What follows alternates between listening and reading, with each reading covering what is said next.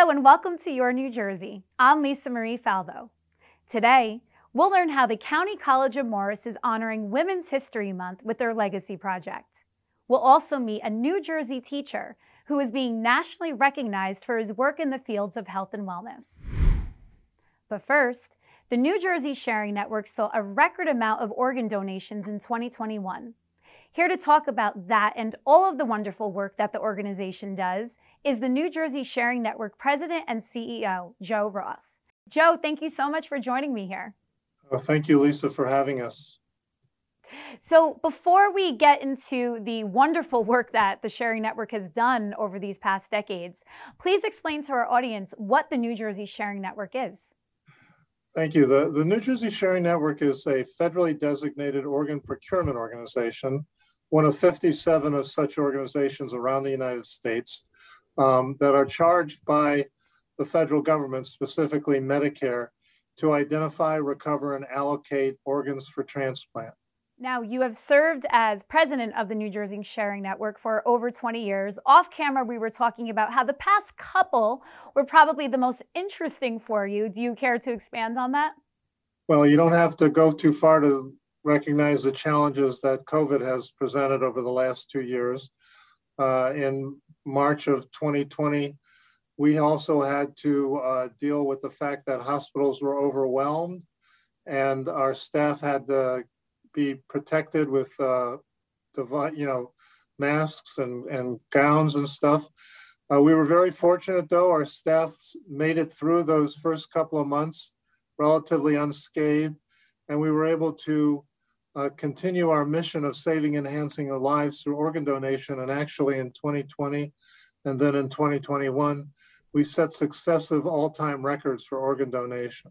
That's unbelievable that during such a trying time you set records. Why do you think that was? Well, first and foremost, it's through the uh, the giving nature of the donors and donor families who who said yes to donation.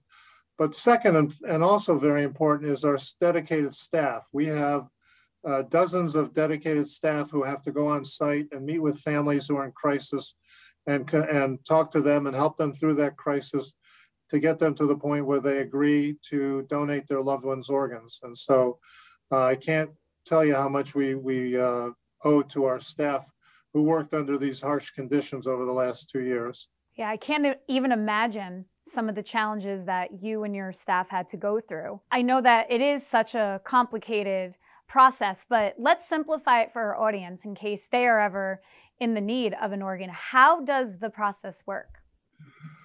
Well, first and foremost, we always tell people to sign up and, and make their wishes known on a donor registry. They can either do it at the New Jersey Motor Vehicle Commission, or they can actually go online uh, to the uh, National Donate Life Registry.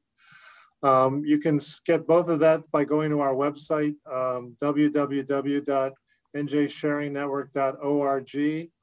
Um, and they will link you to either the national site or to the MVC. The other way you can do it is actually kind of interesting too, is on your iPhone. If you go to the health app, it will say organ donation on there. And if you want to be an organ donor, you just have to click on yes and you'll be entered into the national registry. Why be an organ donor?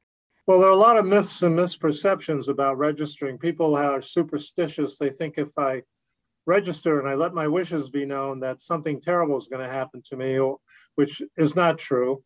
They also think that if the hospital knows that we're going to be an organ donor, they're not going to treat me to survive which again is not true because they don't know your status as an organ donor when you get to the hospital. It's only when the sharing network is called do we find out if the, if you have signed up to be an organ donor or not. And by the time we're called, that patient's uh, injury has become non-survivable and they're eligible for organ donation. So uh, it's it's not it's not a case where you're you're making a mistake. And also, less than one tenth of one percent of the people who sign up to be organ donors actually become organ donors. Uh, but it's nice to know that um, you're, you're, uh, you can do something if a tragedy befalls you to help another person um, gain more productive life going forward. What is the most common organ donation that you see in the state? Well, kidneys uh, are the most commonly donated organs and the most uh, widely needed organs. Kidney disease affects a lot of different people, a lot of different ethnic groups. Uh, you know, we have a, uh, an endemic here of, of obesity and diabetes and heart disease that leads to kidney failure. And so there are, uh, while there are about 107,000 people waiting for all, all organs nationally, about 80,000 of them are waiting for kidneys. And so the kidney is the most frequently donated organ and is the one that actually can survive the longest out of the body before it gets to a recipient. Living donation is another form of donation that's done through the transplant centers where a patient comes in and, and, and is listed for a kidney transplant. And then the center finds somebody who might match them who are living, who, who are willing to donate a kidney um, to that patient or to, to a pool so that they can have chains of donations occurring around the country. So it's a, uh, an interesting form of donation, but we specifically work with deceased donation, that which happens, uh, you know, in somebody in a hospital. If you sign up to be an organ donor, what are you exactly donating? Well, so there's a difference, skin and um, organs and tissue. So there are eight organs that can be transplanted from your body um, both lungs, your heart, your liver, uh, your pancreas, two kidneys, and your large intestine. And that can save upwards of eight lives. Uh, on the other side, there's life enhancing donation, which is tissue, which is bone and skin. Um, bone is used to create orthopedic devices for spinal surgery or for, um, um, you know, replacing cancerous bone and things like that. Uh, whereas skin is processed into a matrix that's used for um, breast reconstruction, surgery after mastectomy, and uh, wound closure, and so forth. It's an amazing process. So there's a lot of things that can be done with tissue, uh, uh along with organ donation. That's you could basically donate everything and you can save a lot of lives and enhance a lot of lives like you said that's beautiful right how does the new jersey sharing network promote themselves throughout the state? I know you have many marquee events, and I'm sure some of them took a hit during COVID, but is that coming back around in 2022? Absolutely. Our, our two biggest events are our 5Ks each year. We we be pre-COVID, we, we would hold held a 5K in May in Long Branch and then a 5K here in New Providence at our site. The New Providence site actually got so big, we have over 10,000 people come to that event pre-COVID that we had to create the second event at Long Branch, which drew over 5,000 people each time we've had it. So this year we expect to hold both of them uh, in May and June. And you go to our website, you can find out more about it uh, and how to register and, and maybe even create a team and raise some money uh, for the Sharing Network Foundation. And uh, those are our most exciting events uh, during the year for recognition. Another thing this year, which we're going to probably uh, not do in a really formal way is this is our 35th anniversary as an organ procurement organization. So we're going to celebrate that in many ways during the year, hopefully, uh, as we come out of COVID this year. Obviously, we talked about before, you've been president for over 20 years. What drives your passion for this mission? Oh, it's it's the people, it's meeting people that we've whose lives we've impacted. Um, this became a very natural thing for me. My my father in the '60s, when he saw the first uh, heart transplant in South Africa, turned to me and my siblings and said, "Look, if something happens to me, donate my organs." Nobody was even talking about donating organs uh, back in the '60s. And so when an opportunity came for me to join the sharing network, I jumped at it and it's been a, the, the best experience I could have ever imagined. Uh, the, the, the recipients you meet who've been blessed by getting an organ transplant, the people waiting who we work very hard to try and save. It's just all part of the day-to-day -day activity. You never get tired of this. You probably have come across countless of success stories in your tenure at New Jersey Sharing Network. Does one really come to mind that really stands out to you as, wow, I'm really part of something special? Well, we actually have an employee here who we met uh, she was waiting for a double lung transplant. Um, uh, uh, she lived in Newark, and um, she received that double lung transplant and joined us about five years ago as an employee. And it's such an amazing thing to see her every day uh, when she's in the office, just as vibrant and alive as you and I could be. And you would never know that she had had a double lung transplant and was near death at one time.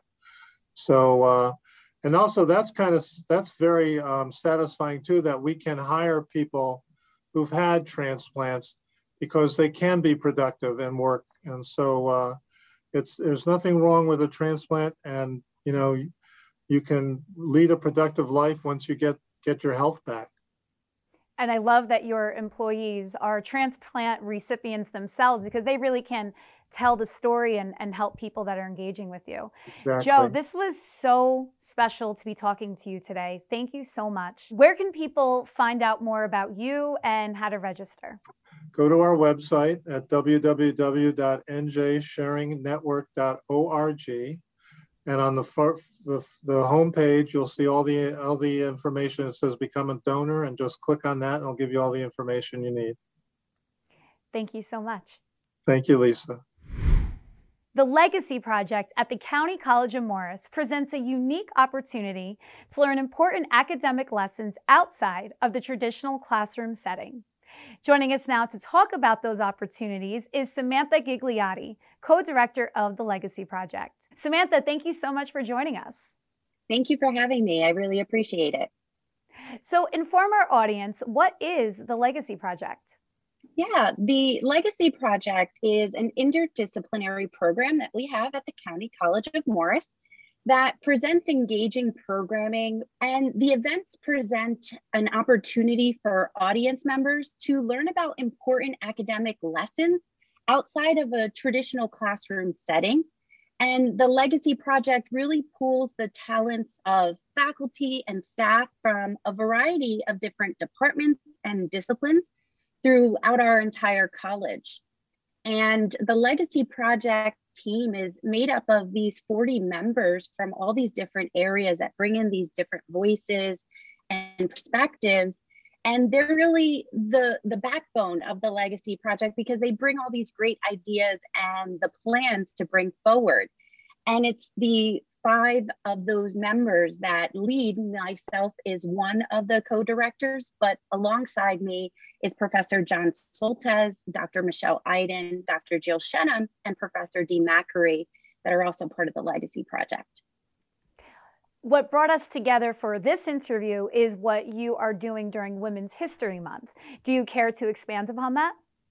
Yeah, so um, the Legacy Project offers a lot of different programming and events and speaker series. And there's a bunch of different parts of Legacy Project. And one of those parts that really engage the community and, and hearing voices is going to be commemoration. And commemoration focuses on the different commemorative months that we have throughout the calendar year it recognizes and raises awareness and understanding of diverse groups and cultures, as well as histories. And um, for example, we have uh, Dr. Nancy Unger that is going to be presenting on March 22nd at 7 p.m. on Beyond Nature's Housekeepers, American Women in Environmental History. And so that's another great event that we're going to have coming up for Women's History Month. Now, is this available to the public or is this only for students and faculty? Yeah, it's available to everyone. Uh, so when we say what is legacy, right, legacy is going to be comprised of not just the students, not just faculty, but also the community members as well. And so every one of our events from our signature series to our ambassadors events or to commemoration events they are all open to the public. So you talked about how commemoration, that's very important to you. Talk about some of the other months that you celebrate. Yeah, so we'll celebrate anything from Women's History to Black History Month to uh, Pacific Islander, and we'll celebrate all of these different months. Sometimes we have film screenings. Sometimes we have book discussions.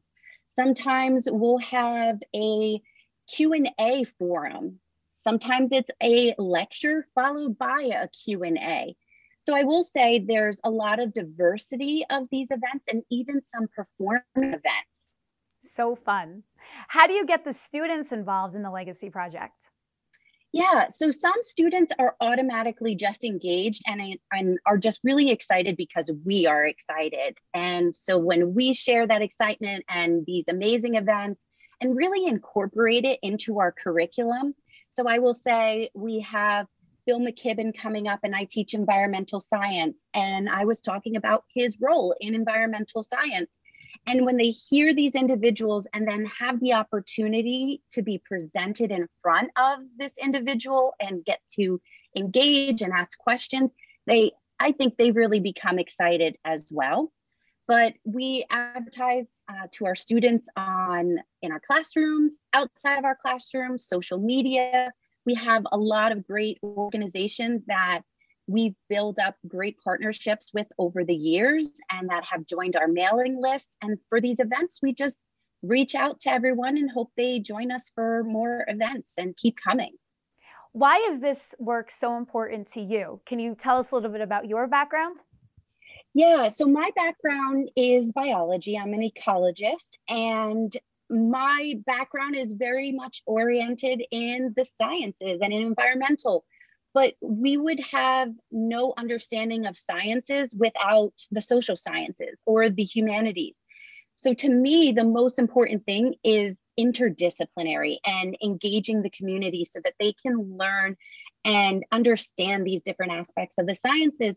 And so, why I love Legacy Project and being part of this group at the County College of Morris is because things like engagement and diversity and inclusiveness having these lifelong lessons and community involvement and really maintaining the legacies. You you get to be part of these amazing events and hear these stories that really make a difference in your life and for me personally one of our events where i heard from rwandan survivor eugenie Mukeshimana and not really knowing about the rwandan genocide and what they went through and what she went through and hearing her experiences and seeing her seeing her emotions it was just unlike anything else that you can experience. And that's what the legacy project is all about with sharing with our community well, I love that you're bringing this culture into Morris County. Thank you so much, Samantha.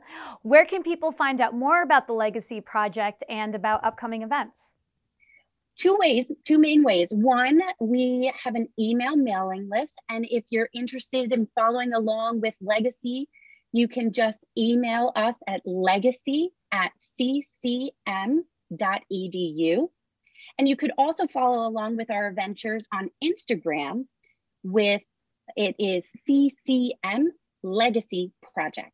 Again, that's CCM Legacy Project on Instagram. Samantha, thank you so much. Thank you very much. Phil Ross, a Bergen County Community College professor and internationally acclaimed combat arts and fitness instructor, is the recipient of the Outstanding Leadership Award by Education 2.0. Joining us now to tell us about his award and work within the community is Master Phil Ross. Phil, thank you so much for joining us today. Lisa, thank you for having me on. It's a pleasure to see you and be, be interviewed by you. Please tell us about your recent recognition. Well, I recently got recognized by the uh, this uh, uh, organization called Education 2.0, and what they do is they pick, you know, 100 people a year to be honored at their um, their big uh, conference. They have one conference in Dubai and one in Las Vegas, and it's an international organization. Uh, they found me on LinkedIn, and I was nominated for this award for my outstanding leadership in the field of education for the body of work that uh, I've, I've compiled for, I guess, well over 30 years now. You do a lot in the community, empowering those to be the best version of themselves. So we'll start with your work at Bergen County Community College. Tell us about your teachings there. Wow. I, I, you know I love being there and working with the students at Bergen Community College. You know I have such a wide range of, of backgrounds of my students, and and you know they just they just need to be you know we have to reach them and the best way that i reach them is through the methods that I'm, i employ with teaching. You know i teach them how to uh, do references properly. A lot of these kids come in without much education on knowing how to do uh, you know, perform a, a reference. Uh, i give them milestones. Uh, you know i'm constantly available to them by email. Uh, you know they can always reach me.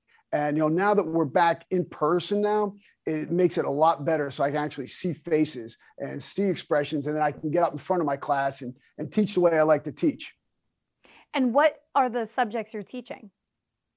Well, I'm the um, I'm in our, our wellness and exercise department, and I primarily teach sports, sports management, facilities management, as well as wellness and exercise classes like health classes, weight training, self defense. Um, you know, the health dynamics. And what is the response? Because you you obviously have a unique approach to teaching that maybe a lot of other professors in the school don't have. Yeah, yeah. You know, the, the cool thing is that everything I'm teaching, I actually did for a living. You know, um, and in the be- beginning of all my lecture classes, I play Rodney Dangerfield in his Back to School. Uh, that that episode, that uh, that scene where he's um, in the classroom with Dr. Barbay, and you know he tells it like it is in the real world as opposed to what he's teaching in the books. I say you know basically it, you know it's a little bit overboard but um, i'm trying to let you know that a lot of stuff that you read in the books is great but i'm going to tell you how it really is and i'm going to put in what happens in the real world.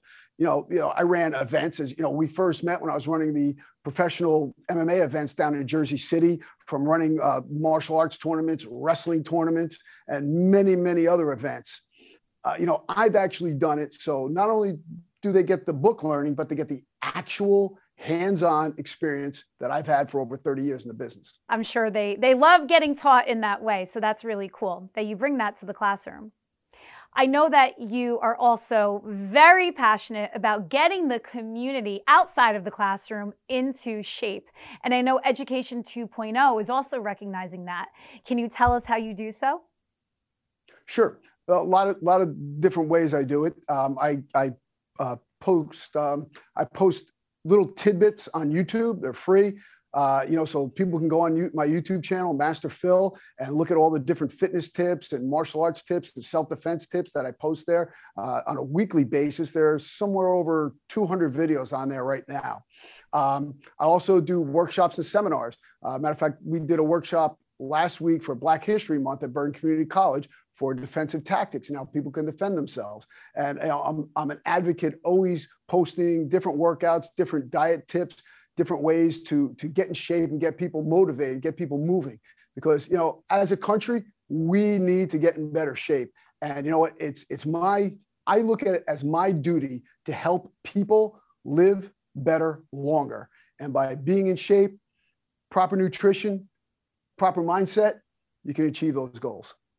So when I introduced you at the top of the segment, I introduced you as Master Phil Ross, something else that Education 2.0 must have thought was really cool. What does master mean? Okay, master, it, it, it's kind of funny because I'm a master martial artist, master kettlebell instructor, and I have my master's in health and uh, sports sciences. So, you know, just people just started calling me master long, long time ago and just kind of adopted the name Master Phil. Uh, master means you know you are at a higher level in your selected craft, and my specialties happen to be martial arts, kettlebells, and now education. You just named a lot of methods of training. Which is your favorite? Wow. Um, you know, my for strength and conditioning, my kettlebells and body weight. But for my peace of mind and for being able to handle myself when I need to, uh, got to go with the martial arts. But you know, the thing is, I love where I'm at now. Uh, you know, being more of an academic and, and, and studying peer-reviewed journals and writing books and uh, publishing reports. I'm I'm having a great time doing that as well. So you know what, I gotta say, I you know, I gotta split it evenly. Just like on my three kids, my three different areas of being a master. Love them all the same, even though they're all different. Phil, this was so fun. Where can people find out more about you and everything you're doing? Well, not hard to find. go to philross.com. Uh, you can go there, check check out my website. I'm also on YouTube, Master Phil, and uh, I also have a course. One of the reasons I was uh, acknowledged by the uh, organization was I developed a course called the Body Bell Method, which is approved by NACE, uh, by NASM and ACE for uh, continuing education credits. ACE and NASM are two of the top uh, personal training and group fitness uh, education providers in the country, and they're recognized by the um, NCCA, that's a National Commission on Certifying Agencies. And if you're a personal trainer, you need to get at least 20 hours every two years of education in order to keep your certification. So, with the programs that I've developed, people can earn those credits and get certified in my organization. Phil, thank you so much and congratulations again on your award. Well, thank you very much, Lisa. Always a pleasure. And you know, you're just doing great things. Just keep doing what you're doing. Thank you for watching Your New Jersey. I'm Lisa Marie Falvo. We'll see you back here next week.